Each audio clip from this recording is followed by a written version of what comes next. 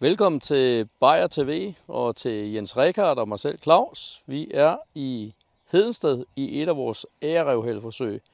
Og nu spørger jeg Jens Rikard lidt om vores strategier og udfordring med ærerevhæl. Jens Rikard, vi skal blande, det ved vi. Men hvad så i de situationer, som vi også havde sidste år, at vi var for varmt til at køre med øh, bokser? Hvad gør vi så? Altså der er vi ude i en uh, situation, hvor vi bliver nødt til at splitte øh, uh, Mateno duer og bokser fra hinanden. Og det er jo fordi, at bokseren, hvor man jo ikke kører med, når vi har over 15 grader i temperatur, så skal man vente med at køre med den senere.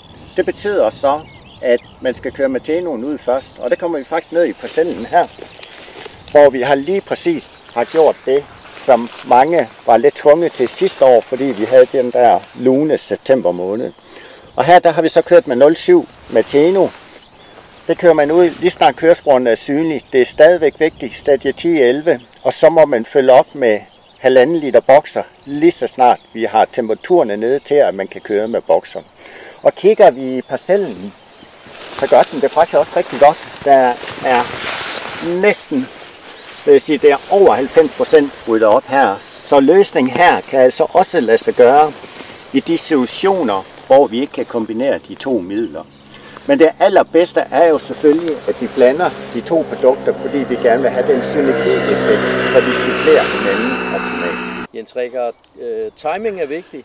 Kan vi optimere timing? Ja, det kan vi.